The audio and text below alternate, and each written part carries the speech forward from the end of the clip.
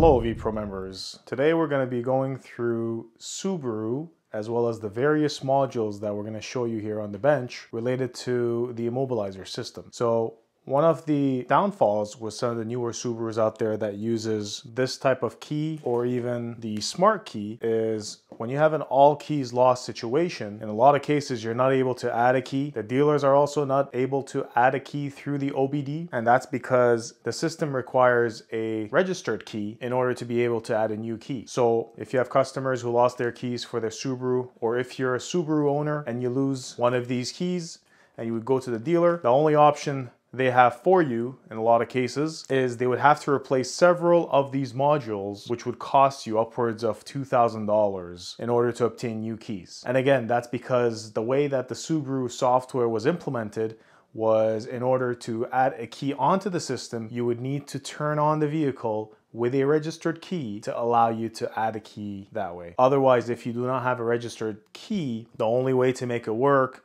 is to replace one or two or three in a lot of cases three different modules. Some cases, the instrument cluster, the immobilizer unit, you have the BIU, the body integrated unit, and as well as sometimes the ECU as well, because the immobilizer unit and the ECU unit has a synchronization code between each other. So this all would run you upwards to $2,000 if you would go through the dealer. And so at VEPro, we are actually able to extract the key information from the respective module and create a key for it. And that's what we're gonna show in this video, the process that we go through for that. So here you can see the keys that we talked about earlier. The first generation of these keys is known as the G chip system, these style remote head keys. The next one is the H chip system. And then some of the latest ones come with these prox key systems. And all these three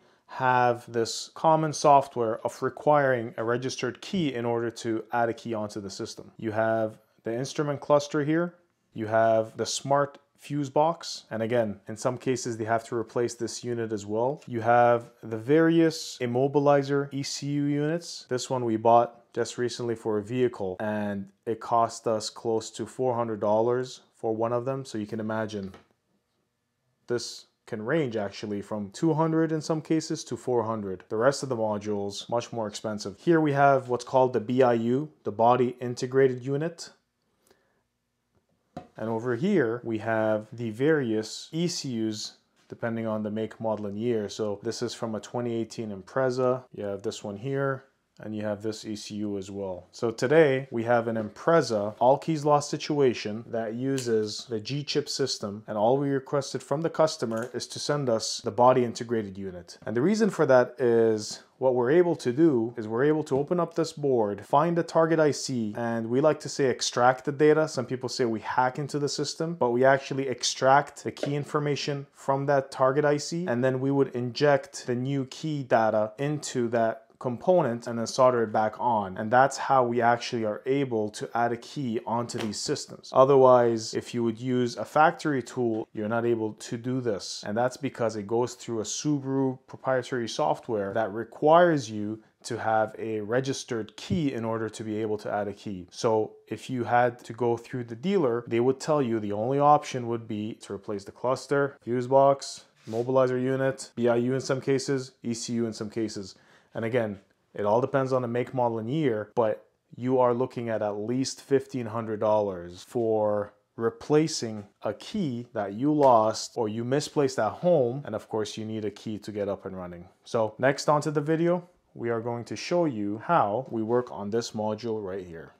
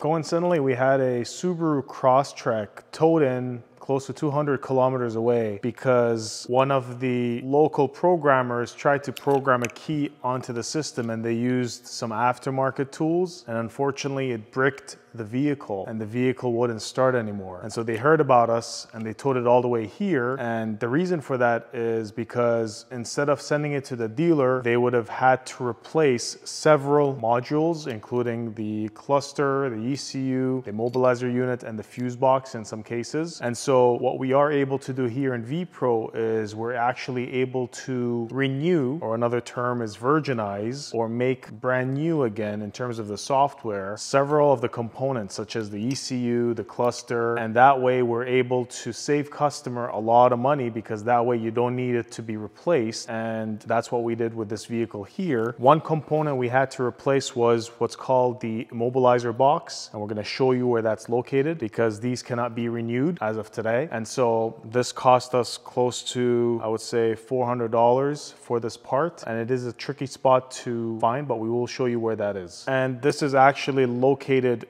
and depending on the make and model of the Subaru and the year, it's typically either located behind the blower motor that's behind the glove box, or in some cases between the heater core and the firewall and the center console or in the center dash. And a lot of times these are really, really painful to remove and the dealers typically quote six to seven hours to replace this part as a labor because they have to remove the whole dash in order to reach to these parts. But next, we're gonna show you where this is located on a 2019 Subaru Crosstrek. All right, so this is the immobilizer box right here, part number 88205FL102, and we're gonna show you where that is located. So right there, right behind the glove box and we managed to reach to that without the need to remove the glove box or remove the blower motor and able to replace that unit with a brand new unit and program it to synchronize with the rest of the modules in this vehicle. So we're gonna show you how we got this vehicle up and running for the customer, saving them at least a $1,000 or even more. Key, and again, this is the H chip key, you can see